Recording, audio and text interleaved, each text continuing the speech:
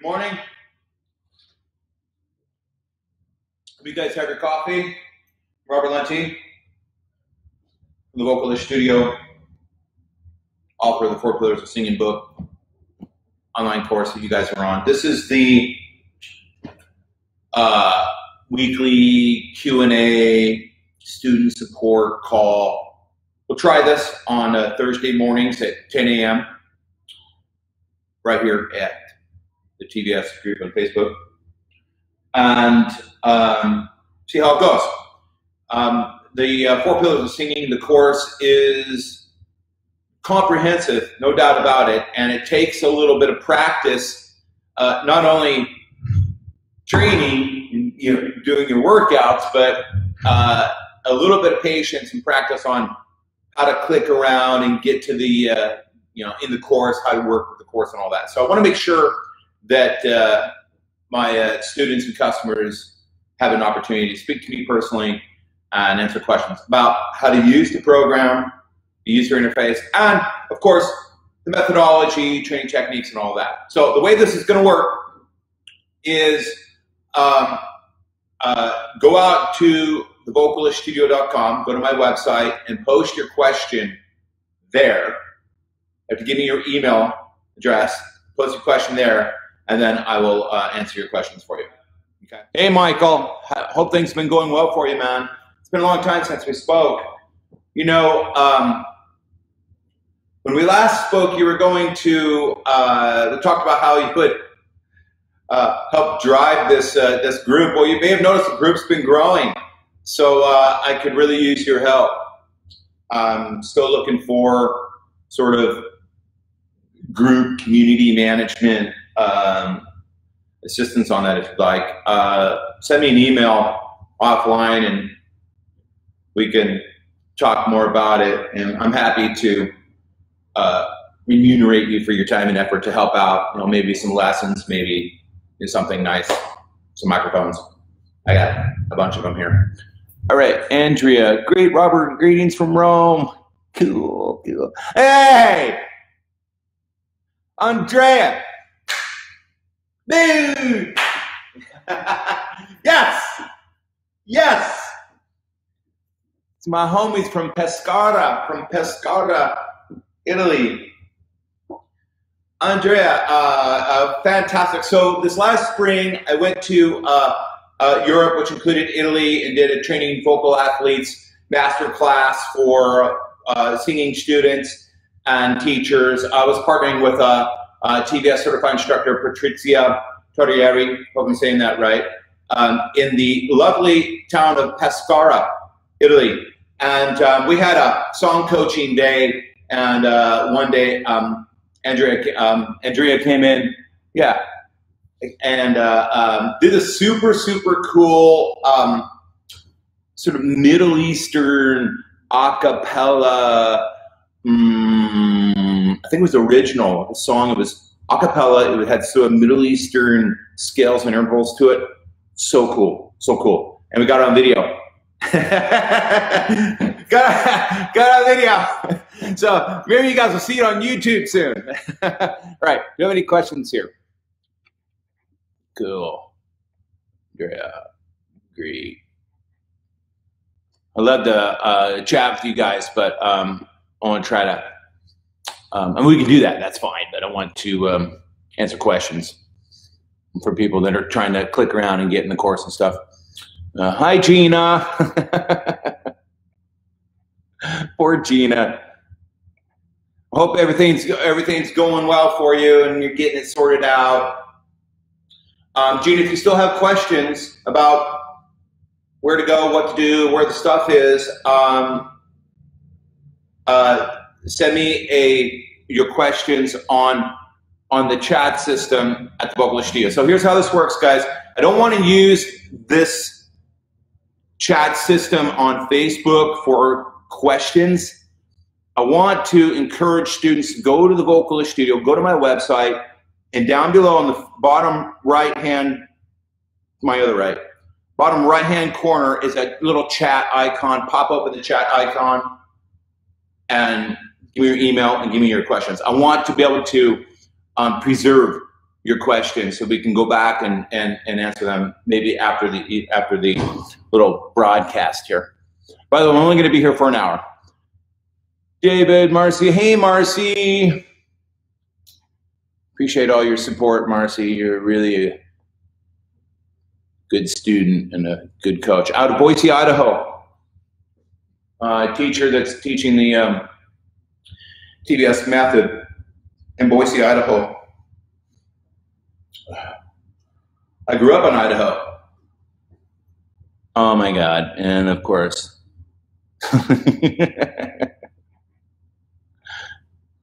Richards. Richards, be on your best behavior. Don't bust my balls in here.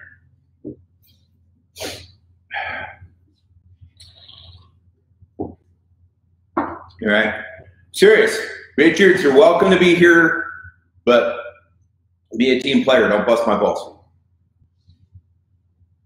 Anyways, I really like that. I, really, I really dig that new video, the the one with the Metal Queen, um, where they had like the fire exploding behind, and then when she was like swinging the sword of the devil, dude. that was so dope. That was great, man. That's why you're one of the greatest. I just teasing you, dude. Just give me shit. All right. Any questions? Come on, you guys. Let's talk about some technique. I don't want to just set up here and. Hey, Dan. Dan Reed. Dan, are you in Seattle? Are you the, the Dan in Seattle that, that uh, took lessons with me on Fridays? I hope so. Um, if you're that Dan, I miss you, man. I miss you. Get back in here. I want to hear your voice when you get, get to work on that. Um, Gina, warm up for crying vocal fry. Okay. All right. Okay, so Gina has a question about um, a physical mode called cry mode um, and um, how to how to how to warm up for it. Well, I'm going to grab my trusty rubber band, which is um, a metaphor for vocal folds. You see, these are the vocal folds. You can elongate them, you can short them, you can tilt them, you can do all kinds of cool things. So, you voice coaches out there, it's really pretty cool tool for showing your students what the vocal folds will do. All right, now, um, cry, uh, cry vocal mode. You know, Gina, um, I wouldn't necessarily say that we're going to warm up for cry vocal mode. All right. Um, I mean, I suppose it sort of could, but it's because because cry vocal mode is a physical mode that you need to get into when you are warming up. Okay, it's sort of cart before the horse. So um, when you warm up, you need to be in cry mode as opposed to I'm going to do something first, do a warm up, and then I will get into cry mode. I mean, I suppose that's sort of sort of possible. You can kind of do that, but that's not really the approach nor the context. When we warm up our voice for singing, you do apply the physical mode, cry mode, right? But what I can do, Gina, is I can um, I can I can show you the three-step cry mode workflow game. All right, the three step cry mode workflow game, which helps you to get into cry mode, helps you to feel cry mode. I wouldn't really say it's like a warm up for cry mode. Sort of semantics. But, anyways, I don't know.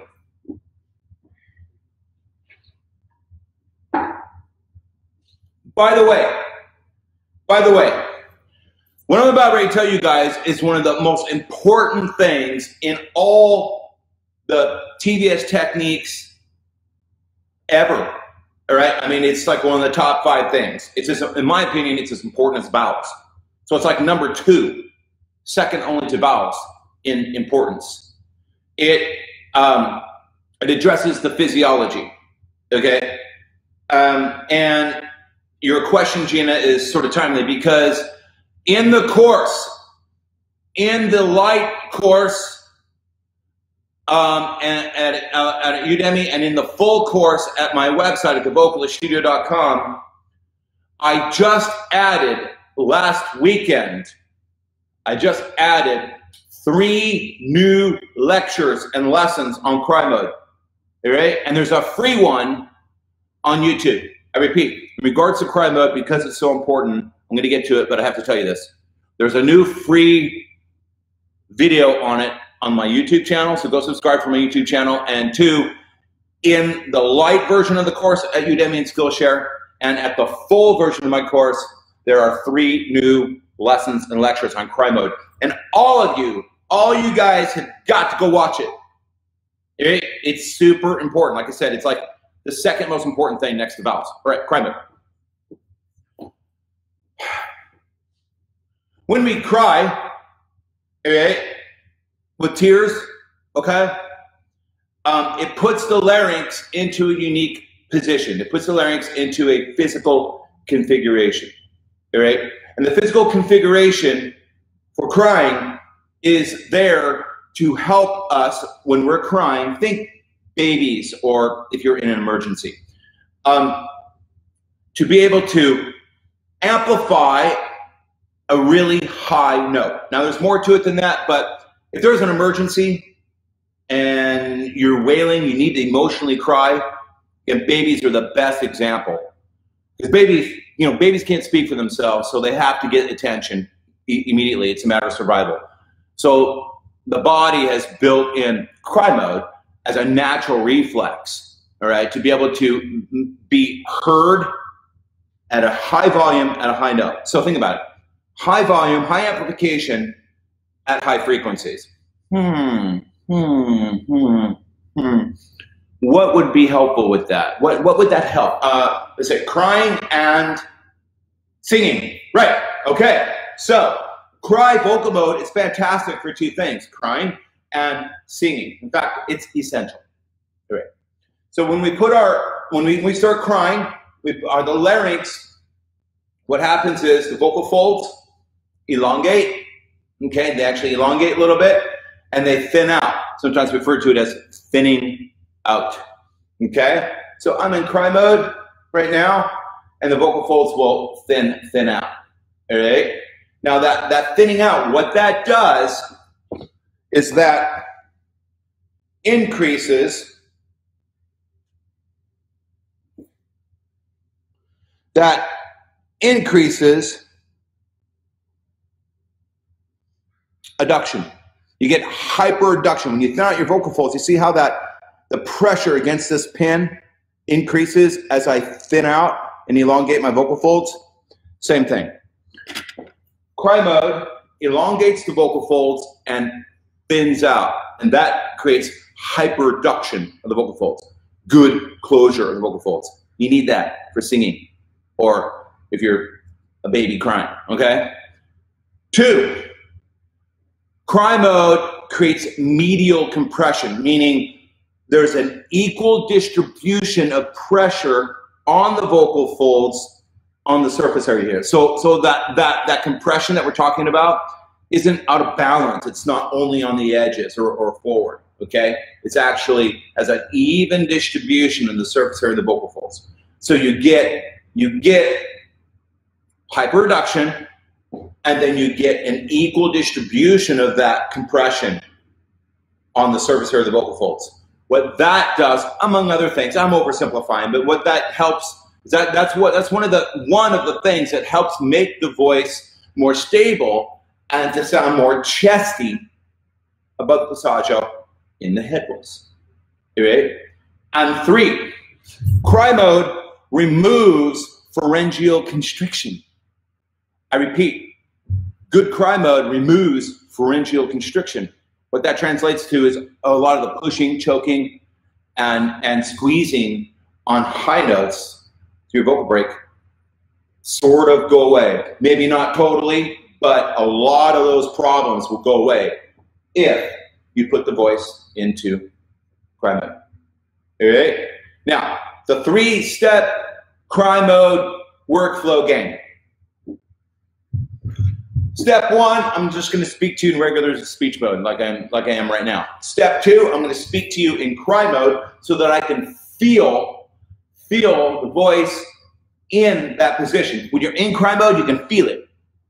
It's like you get like a little tug, like a little little tug on the musculature inside. You can feel it, and you want to really, you really become very, very sort of very intimate and very uh, uh, um, used to that feeling. All right, the feeling of in the larynx when you're in cry mode. All right, and three, while speaking in cry mode, I will then hold that position and roll my voice up through the passaggio into the head voice and sort of release a singing down. All right. One. Hello, my name is Robert Lunte. I'm right. I'm on the Facebook Live Q&A session for my students and people that are taking the course. All right. I'm not in cry mode right now because I'm just speaking to you in regular speech mode. All right.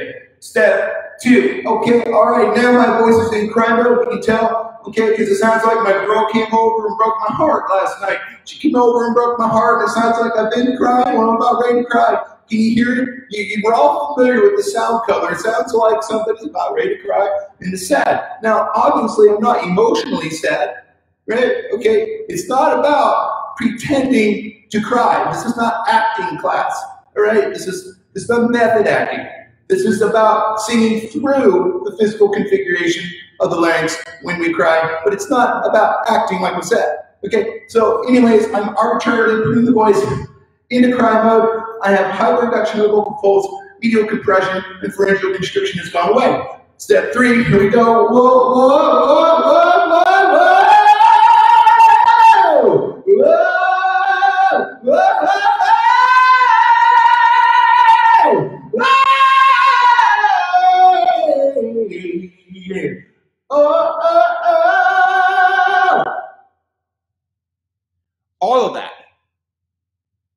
Command and control the cry reflex. Great singing is command and control of the cry reflex. So start training it. And like I said, in the course, light and full, there are three new uh, lectures. Um, we go through that three step uh, cry mode workflow game, and then there's a couple other ideas in there that help you guys get into cry mode. So, Gina, do that. Play that game that I just showed you. And on all of your warm ups, all of your training, all your singing, do be mindful, conscious of doing it through a larynx that is in a cry position. All right. Next, what do we got here? All right, Gina, warm up for a crying vocal. Gina, cry mode and fry mode are sort of the same thing. So if you go to the pulse and the pulse and release onset inside the course, the pulse and release onset, it's very similar. Okay, pulse register, pulse is sort of fancy voice lesson talk for a vocal fry. All right. Ooh, got a thumbs up from Draven. I must be doing okay. All right, Gina, Draven, Robert, remind me to show you how I use the mm-hmm, the straw to help reinforce cry mode. Absolutely. Um, in my new upcoming warm up course, um, I'm, I am showing students different methods of warming up. Okay. And no doubt the, the straw thing is in there. The guy that can do the best straw warm up is um, my buddy Draven and TVS certified instructor out in Colorado. Um, yeah. Yeah. Muscle memory. Yeah. It's good. It's super good. The straw,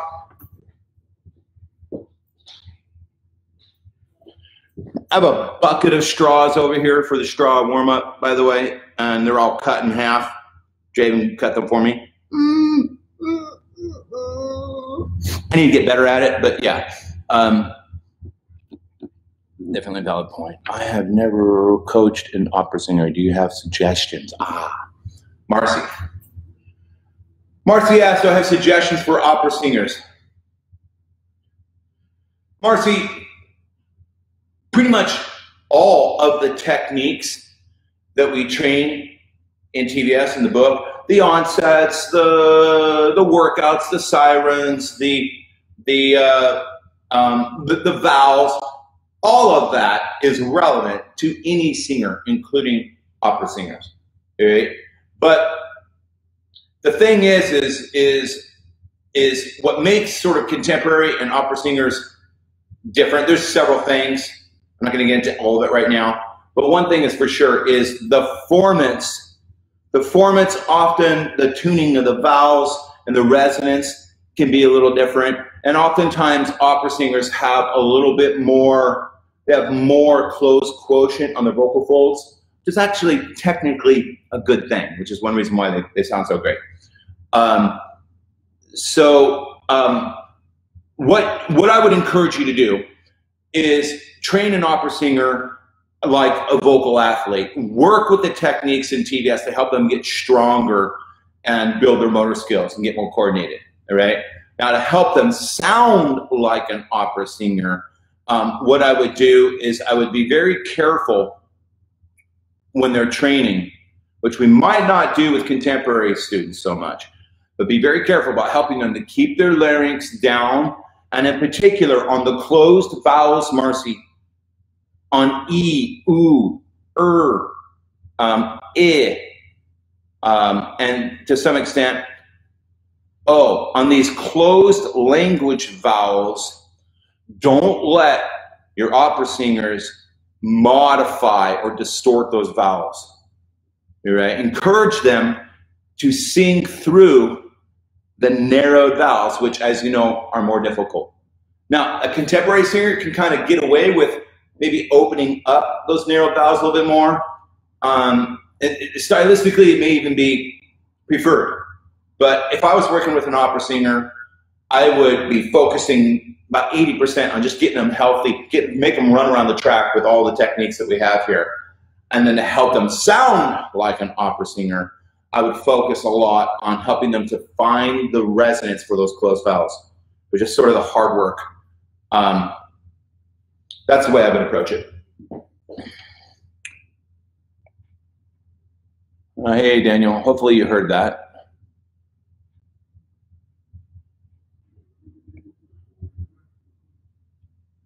What do they need in terms of instruction? I see. Hey, Paula. Jennifer. Oh, there's Jennifer. Jennifer. Hello, Jennifer. Okay. Uh, okay. How important, uh, Paul says, how important is it to a singer on tour not to talk after a concert with all the noise and smoke of a venue? Hmm.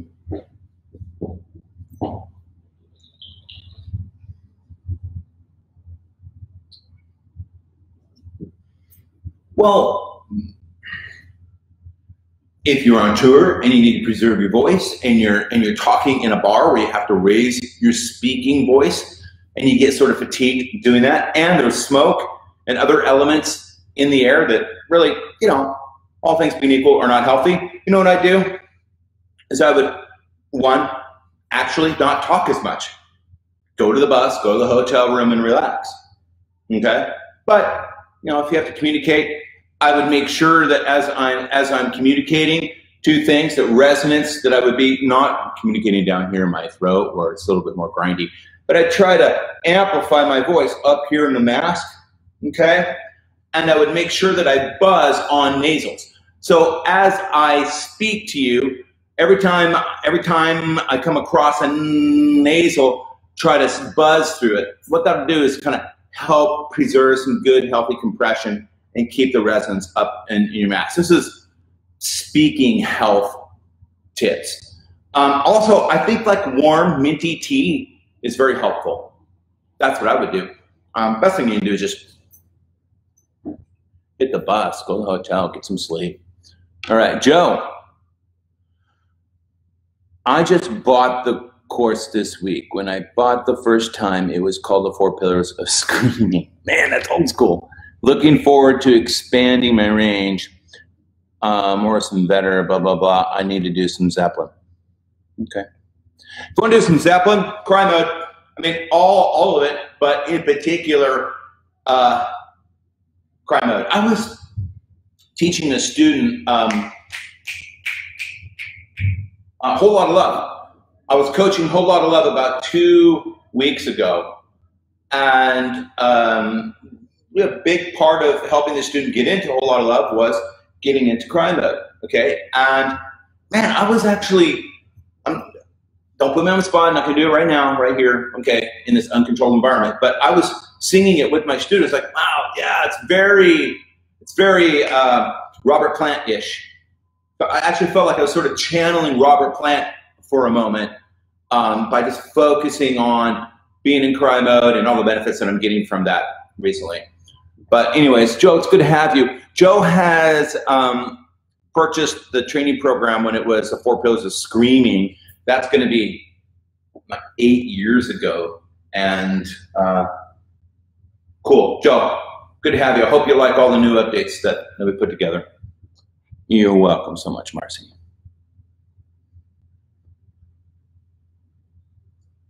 Sergio. So cool. Sergio's awesome.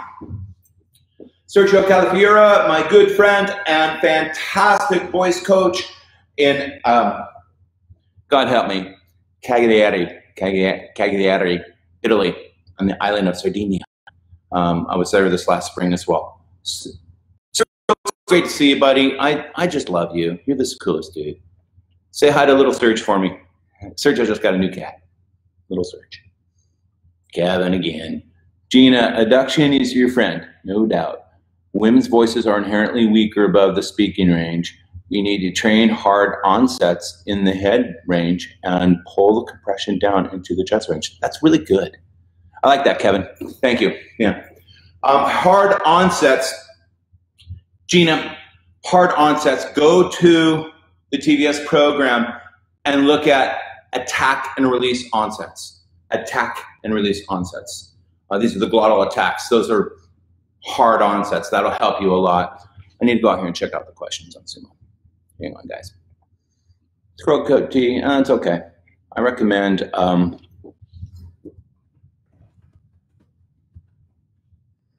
regards to tea,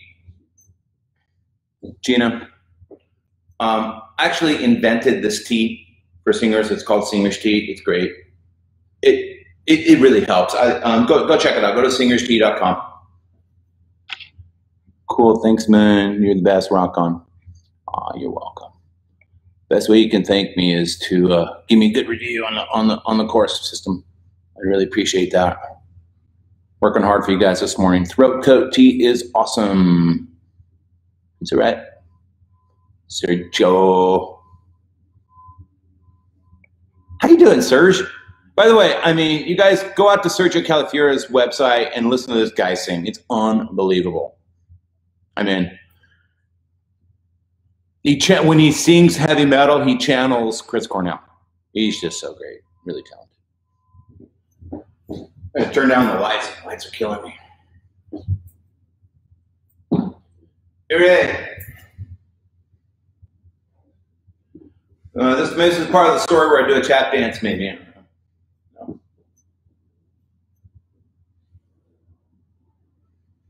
I'm sort, of, I'm sort of disappointed that Facebook Live doesn't have a screen share option.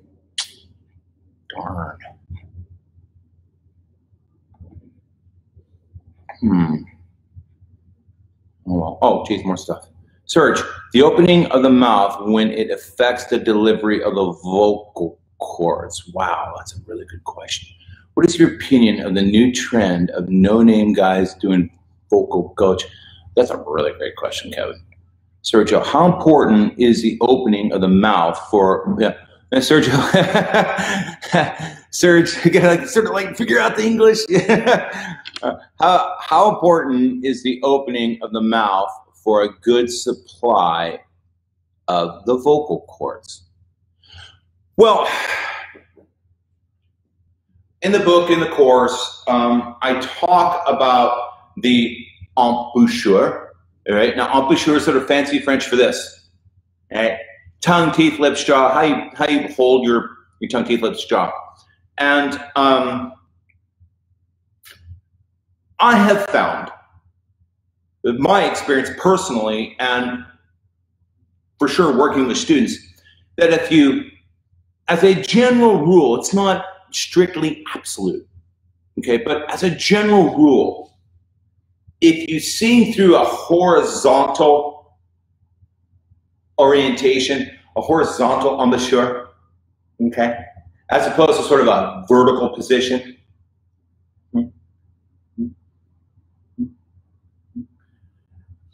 you get some benefits from this. Um, one, singing through a little bit more about horizontal embouchure, what it does is it tends to make the tongue go to work more. So in regards that in regards to the need to articulate consonants and vowels better when we're singing, a horizontal position tends to make the, the tongue move more. The tongue becomes more articulate. It gets more involved in your singing. Uh, I don't know exactly why. I just just happen to notice that's what happens. And if you can get your tongue articulating more and more involved in the formation of consonants and vowels versus the mandible, the, the jawbone going up and down, then what happens is your diction, the articulation of your lyrics, tends to drastically improve. Two, a horizontal embouchure tends to amplify the sound better. Uh, um, so if if this is my oral cavity and I'm in a vertical position, this is sort of my the pen represents resonance or sound energy, okay? As I close my oral cavity and move to the horizontal position, the energy is amplified. Okay? So you get you tend to get a little more amplification of the resonance inside the oral cavity when you're in horizontal position. And three, that includes oftentimes a little bit of ping off your teeth. The, the sound energy can hit your teeth, and, and that helps contribute to the color, the raw color. Um, and it's a subjective thing, but in my opinion, it's good. It's good to get a little bit of enamel, a little bit of teeth, sound color in your vowels. Um, but most of all, it's just great because it gets your tongue moving more efficiently, and it's it's nice for the neural vowels. Um, I don't know if that answers your question, Serge, but I think that given that you are a student of TVS, my guess is that you probably already knew that. I mean, that's sort of new. I mean, and then that's that's not new to you. But yeah, the horizontal embouchure is very helpful, super helpful. Good question, Serge. What is my opinion to the surge? How important is the opening of the mouth? I hope I answered that. Yeah. yeah. Hey, Troy. Mouth opening helps in, intonate the formants. If the notes go up, the jaw goes down. Mm, yeah, it wants to, but I don't don't think it has to, Kevin. And if you drop the, the, the jaw, you got you know, the mandible bone is a big hingy thing. It's a big clunky hingy thing. If you're if you're doing this, that's a lot. That's a lot of travel. It's a lot of distance you have to move to articulate something quickly. I agree with your statement, but I'm only saying that if you can train the palate and the tongue and the upper vocal tract to do more articulation work and not rely on the jaw, I think you get more efficiency that way. Um, opinion of the new trend of no name coaches doing reaction videos. Uh,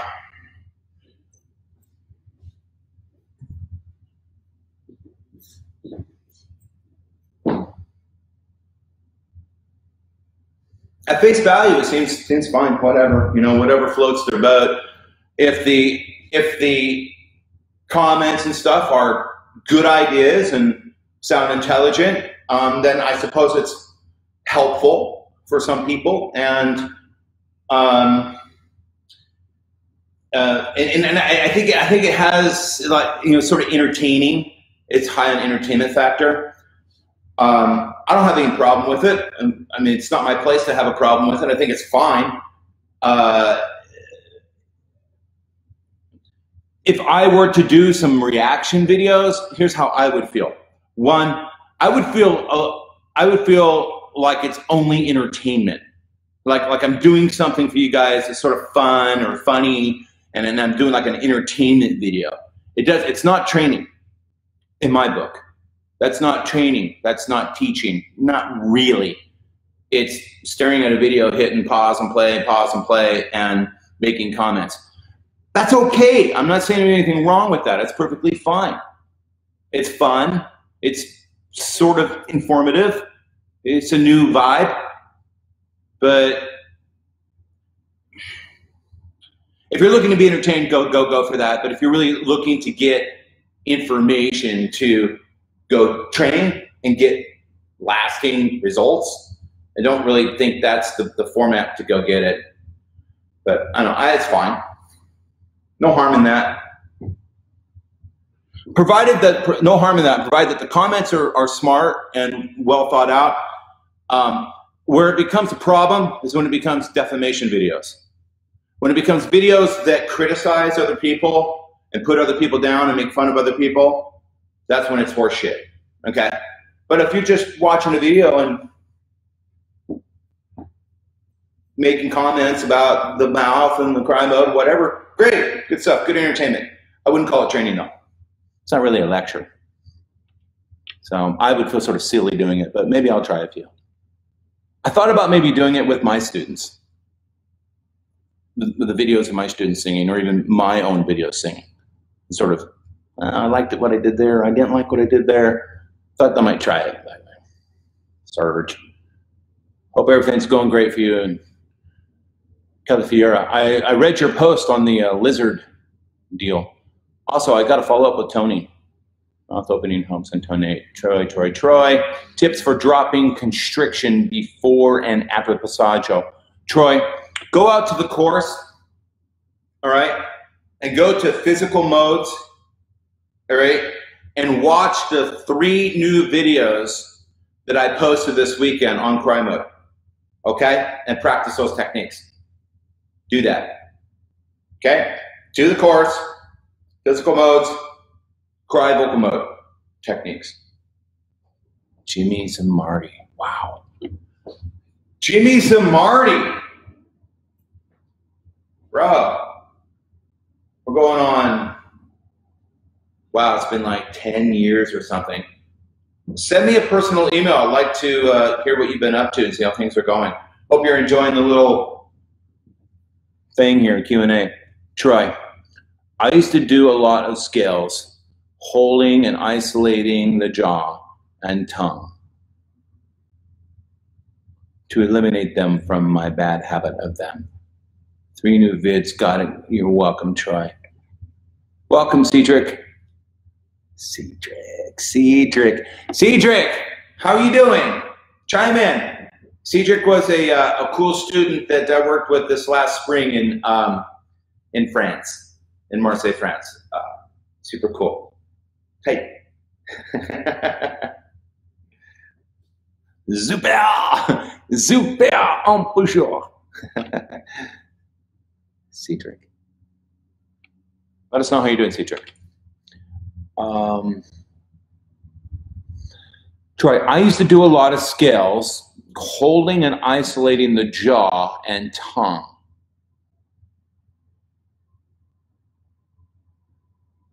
Man, you know what? I've heard about this hold your tongue idea. Come on, guys.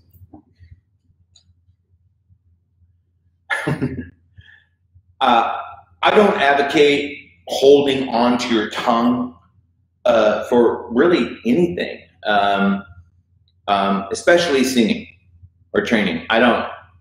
Uh, maybe there's something there, but I don't get it. I think it's sort of silly and stupid. Troy, don't hold on to your tongue. I have a better idea for you. Instead of holding on to your tongue, take the tip of your tongue and leverage it against the back of your bottom teeth. Teeth, tip of the tongue, right here. Okay? Do that. And be mindful of it. Feel it. Feel the tip of your tongue touching your teeth. Be, be aware of that when you're singing your vowels. That's a much better solution than holding onto your tongue. That's ridiculous. I understand you're not doing that now, but um, don't do it ever. Let's go see if we got some questions on here. Yeah, well, um, the horizontal embouchure is, uh, Kevin, the horizontal embouchure is a form of isolation. It, um, it's, it's, it's, it's really chilling out the jawbone movement, okay? Um, and sort of isolating the articulation required to have good diction for the lyrics, if you will, to the tongue, upper vocal tract, and palate, and trying to chill out the jaw a little bit. Now, you're never going to be able to stop moving the jaw entirely. That's expecting too much, but you can sort of chill it out a little bit. And again, I, I, it tends to be very helpful. Um, the tongue has to, I mean, unless you're singing through a vowel, the tongue has to articulate. Draven, assigning mass has been one of many game changers for my students. Can we hear your description of it?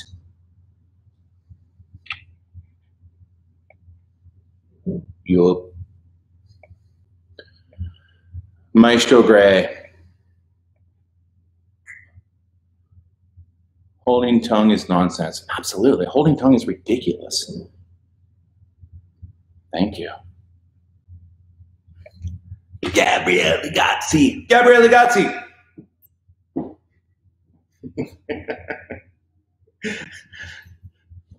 Gabriele Gazzi. All right, you guys go out, listen to Gabe sing. Gabe is a certified instructor, TVS. We trained together for years. We did a master class together in Italy. Uh, in my career, as a as a voice coach and singer, when I get a chance to, uh, when I think about like some of the greatest, most most gifted, most gifted singers that I personally know, uh, Gabriele Gazzi. Go listen to this guy sing. Good to see you, Gabe. Glad you came. Send me a personal email. Let me know what you're up to. Like to understand more about how you're training. I know you've been working on some distortion stuff. Uh, Draven, I'll get to it. Mass.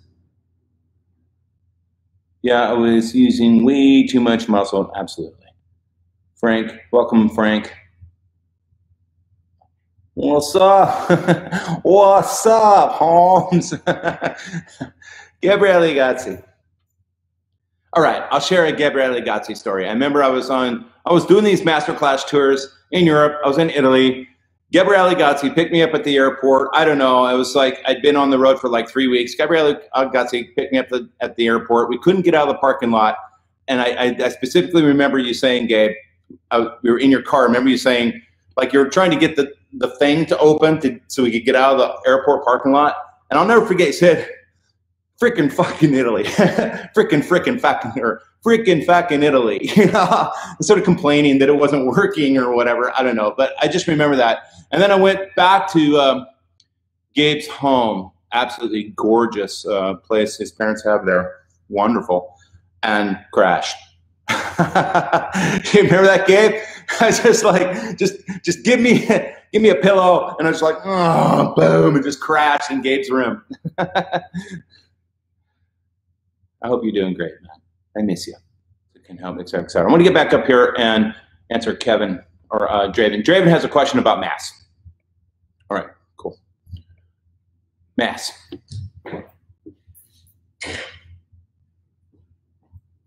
The mass of your phonations. It's in the book, it's in the course. Those of you guys that have the course, I believe it's in um, I believe it's in the the uh, myth busting module. Go out to the mass of your phonations. I think it's called the mass of your phonations. Now, when we talk about mass, um, that's really just a metaphor for weight. Okay, so I have this this microphone has a mass to it, right? I can feel its weight. Okay. So mass is just referring to it's a metaphor, sort of a visualization thing that that gets us all as singers thinking about creating the awareness of of of assigning a mass, an imaginary mass. Actually, in some regards, it's not imaginary. It's actually real when you talk about what the vocal folds are doing in the level push. But where we're going to assign a mass to every phonation. Okay? So we have um, the way this game works. We've got three three masses, three masses: light, medium, and heavy. Okay. This is a light mass phonation. Okay. Just light. It's light. It's floaty. It's pretty. This is a medium mass phonation. Right? You can hear it's a little more amplified, a little bit heavier. Uh, probably more more respiration, a little bit more vocal fold um, engagement, and and we, we, we tend to say that light and medium is sort of what we want. What we don't want is heavy mass. Okay, now there might be some exceptions. In that example, you heard some distortion. So if I'm performing or recording or making a point about vocal distortion with my students, a moment a brief moment of heavy mass might be fine. It just sort of depends on the context. But for the sake of this conversation, what you want to do, what I encourage you guys to do, is visualize every single phonation, especially beginners that are learning how to sing. Not, you know, maybe not the guys that have been doing this for years. Okay, this is beginner stuff. Visualize every phonation to have a mass. Right? And try to make every phonation when you're training and singing be light or medium and try not to make it heavy.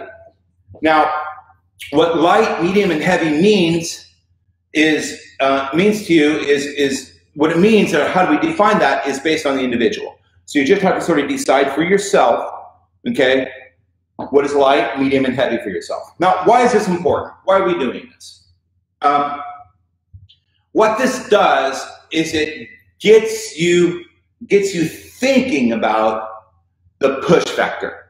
As we all knew, as we all know, all singers, to one degree or another, at one time or another in their in their in their singing career and experience, find themselves pushing too hard.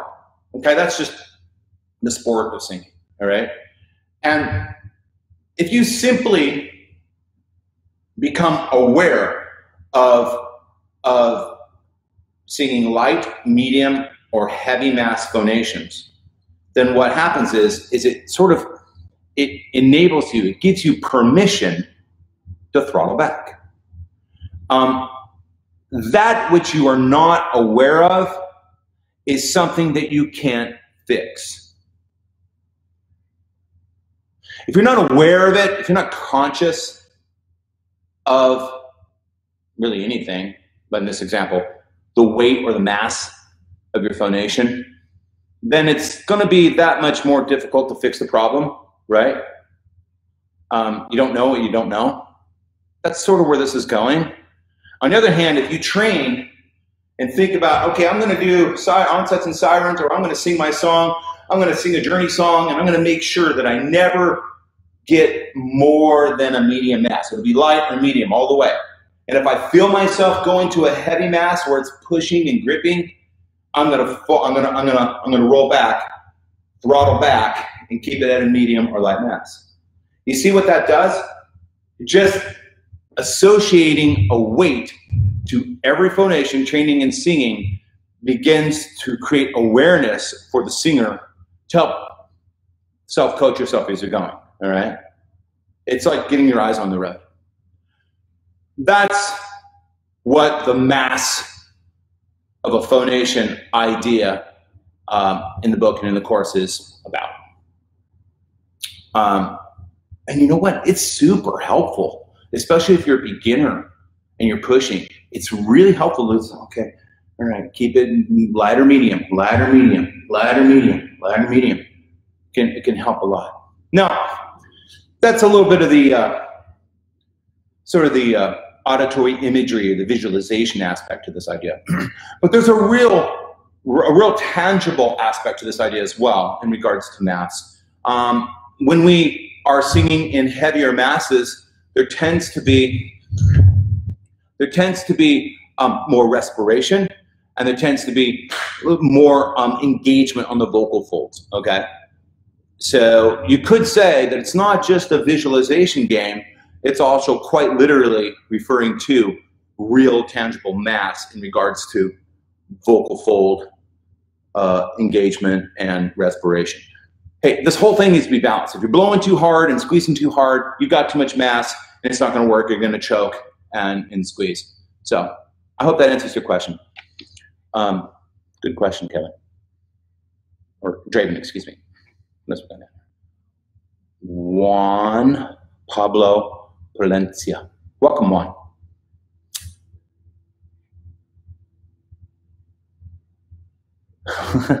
Back in the day, Lunte would say in my lessons on mass, lean into it. Ah, okay. Well, if I was telling you to lean into your mass, that was that was us working together with the massive of a phonation visualization technique, and I was probably I probably just like there's not enough compression there's not enough wind. There's not enough, you know, TA engagement. There's not enough musculature engagement. It's just too wimpy. Right. So when I say lean into it, that typically means add a little more mass. Yeah. By that, I mean lean into the resonance, not necessarily mean pushing. Lean into the resonance.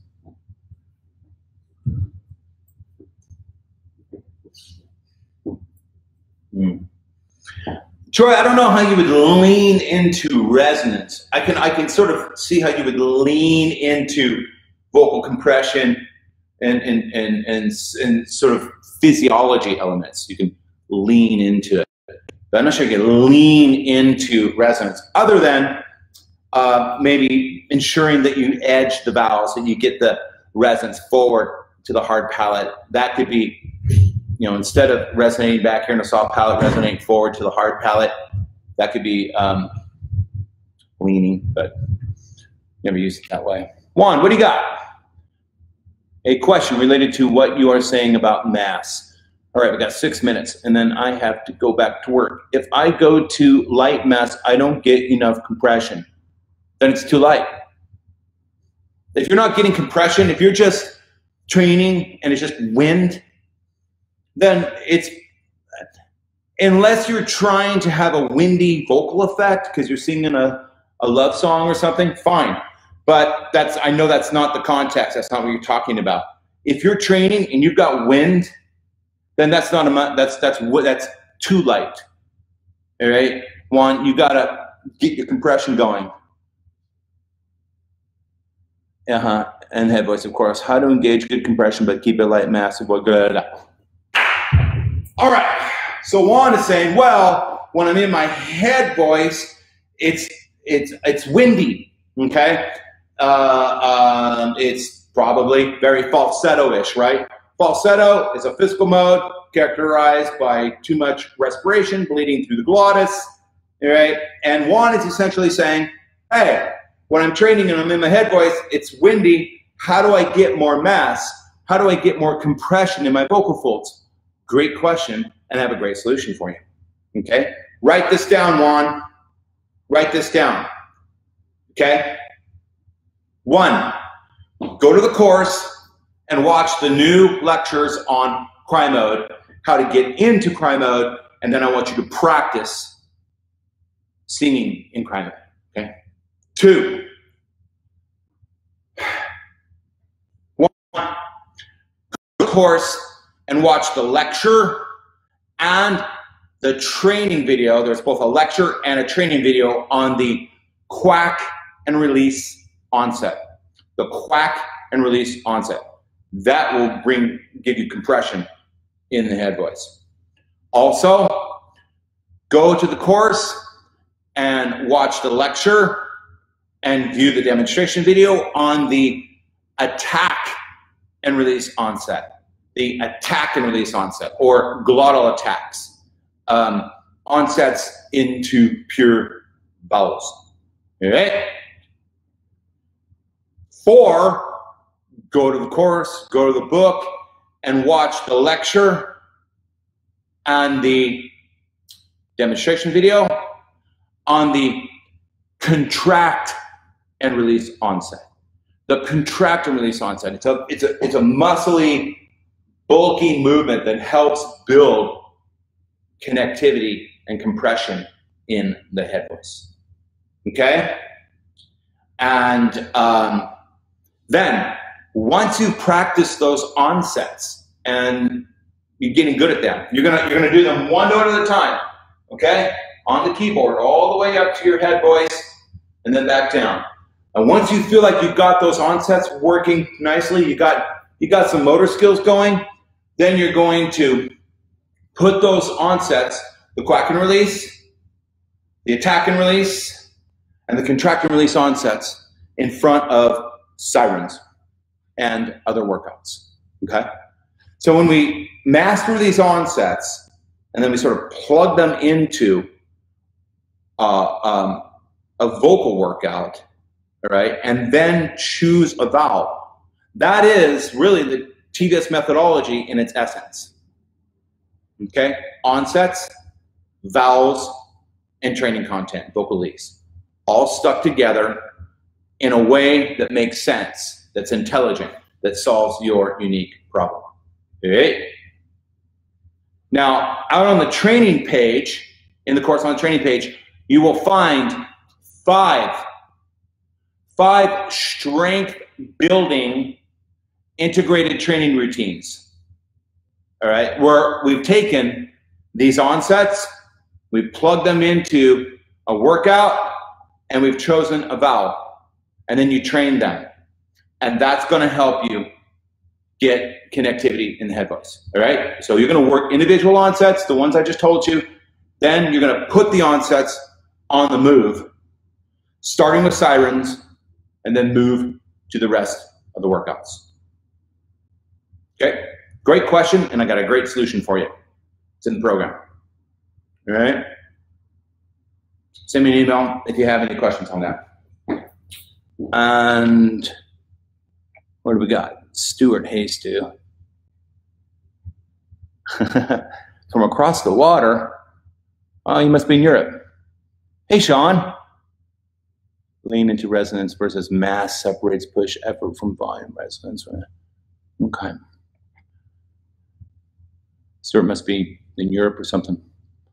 Sean. Okay, guys, I'm going to wrap it. That's it. Um, great questions. Great questions. Um, if you'd like to know more about the method and the training and what we do here, the people that have been training the program, go out to thevocaliststudio.com right? We can get a book and an online course and uh, learn these techniques and train. Train to get strong and build motor skills for, for singing. It works. This stuff works if you commit to it and you learn the method. Um, also, we have a light version out of Udemy that you guys can pick up as well. I see you guys here next Thursday, and um, thanks for coming. I appreciate it. It was fun today.